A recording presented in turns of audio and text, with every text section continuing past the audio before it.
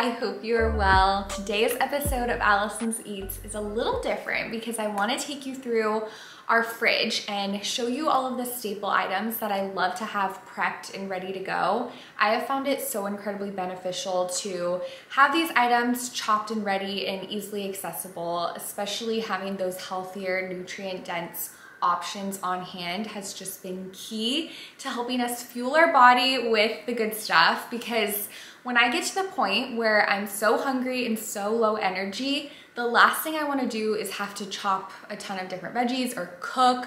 So I love to just have these items ready to go. So I wanna take you through the staple items like I mentioned. And then another thing I love to have on hand is some kind of easy recipe that's in the fridge and ready to go for lunches.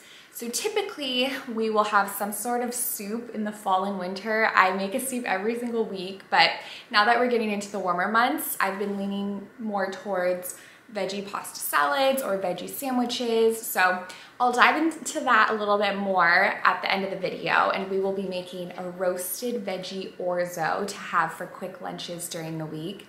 But let's begin with those staple produce items. We're kicking things off with carrots. We love our carrots around here. They're packed with fiber and vitamin A and such a great crunchy snack. I know they're not the most exciting, but they're great to have on hand to snack on, but also chop for salads or have as a side with sandwiches. And I love to dip them in some creamy Caesar dressing or hummus to really elevate them and make them more stimulating. So these are great. And then also celery. We love celery. And for the past few months, I've been keeping our celery in a jar with water and this has really made a difference. I heard of this a while ago but then I never really implemented it but it definitely helps the celery keep its crispness which has been wonderful and in the past my celery has actually become frozen whenever I put it in the back of the fridge so this helps with that aspect as well but we love our carrots and celery and so does Palmer, so we like to share with him as well. And then I also love to have bell peppers on hand. Of course, they also have tons of different vitamins and health benefits and potassium, but I also just love the color and flavor they add.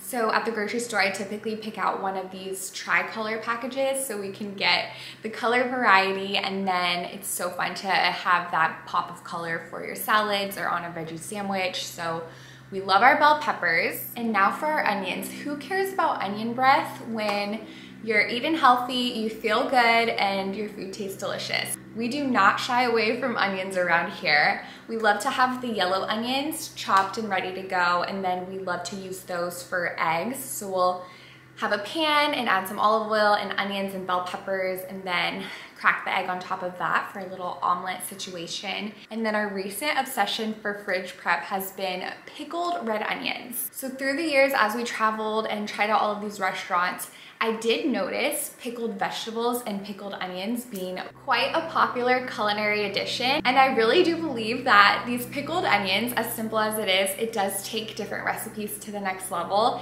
And Brandon, my husband, he's even more of a fan than I am. He loves these things. He says he just wants to eat them plain as is, but I love to put them on veggie sandwiches once again and on eggs, on salads, on veggie burgers pretty much every single meal we've been making, we top it with the pickled red onions. So the recipe is super easy to make. I will link it in the description so you can find it there, but I typically will make this every two weeks. And what's really nice about it is that it doesn't go bad for two or even three weeks. I remember one time we traveled and it was still perfectly fine once we came home. So that's helpful. Into the vinegar and water mixture, I add in peppercorns and garlic, and it really just adds such a tangy and flavor boost to whatever meal you're making. And for the quick bite recipe that I'm making for this week, I totally think we'll be topping it with some pickled onions.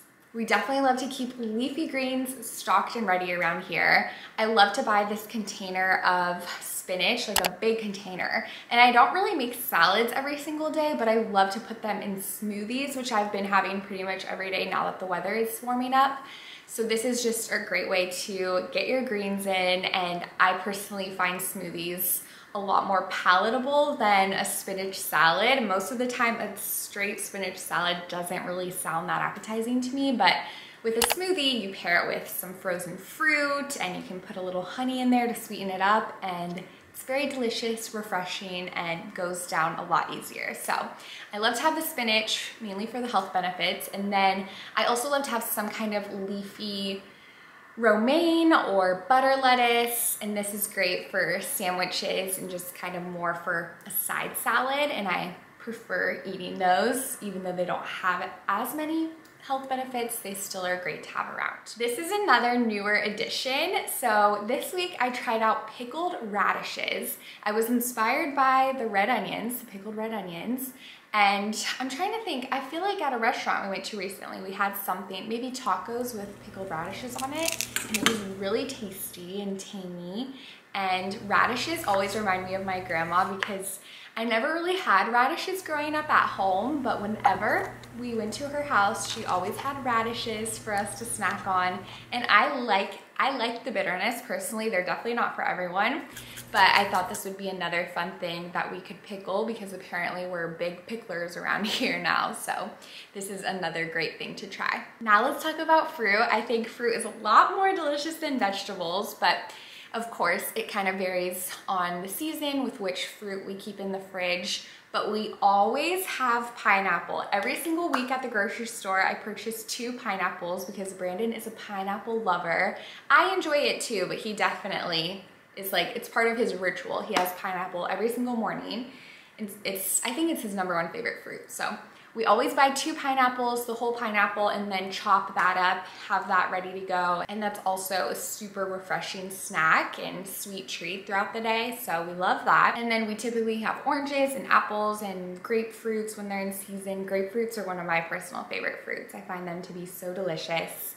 And then I also love to have lemon and lime. So typically every other week I'll buy one of those big packets of lemons and limes and then I'll put half in the fridge and half just on my little daisy colander back there so that I have some more room temperature and then the others that are in the fridge, I keep them in there so that they'll last longer and they won't spoil. So that's kind of how I figure it out. But for the limes, I love to use those for, of course, squeezing on top of tacos, which we have quite often around here.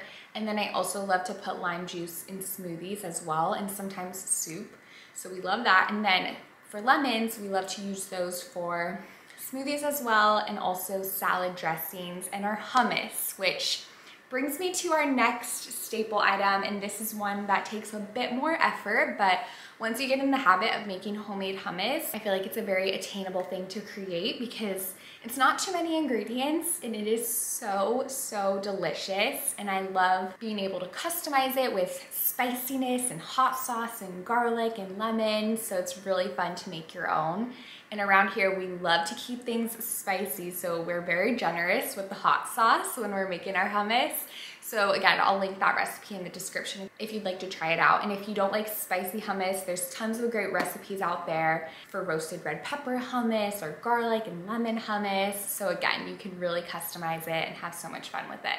And the last item I wanted to highlight is bread because you hear me keep talking about my sandwiches I love to make and the tacos and the egg omelets. So there's two breads that we love to keep around. If you've been following the vlogs, you know I'm really into the sourdough these days. So we love to make a sourdough loaf and then freeze it and just have that in the freezer ready to go. And whenever I heat up our sourdough, I just pop it in the toaster and it heats up flawlessly from the freezer. So that just keeps it nice and fresh. And then I love these tortillas.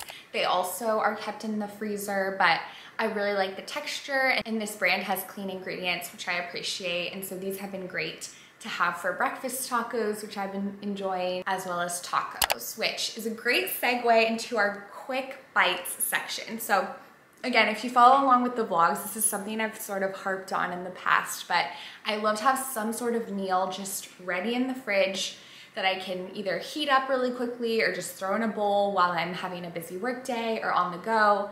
I just have a healthy lunch option. Typically lunch is where I feel a bit more scattered and I feel like I don't have the mental capacity to cook a whole meal.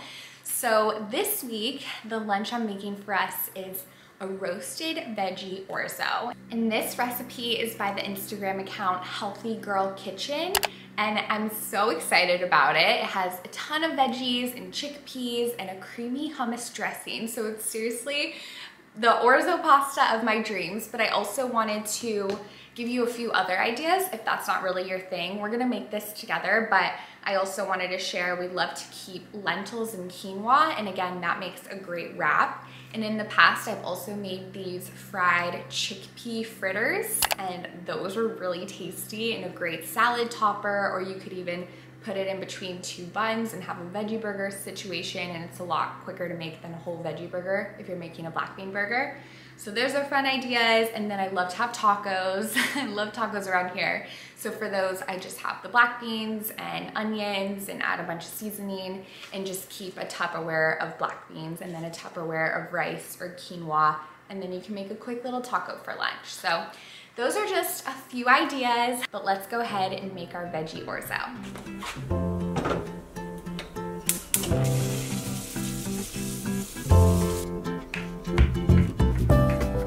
Love this orzo because it tastes delicious served either warm or cold and I typically desire a warm meal in the evening so I loved enjoying it fresh out of the oven but for lunches it has been nice and simple to serve cold. And essentially all you're gonna do is chop all of the veggies, cook your orzo, make your creamy hummus dressing and combine. So super simple. There is a lot of chopping up front but thankfully this is quite a large portion size recipe so you'll be able to enjoy it for days to come come.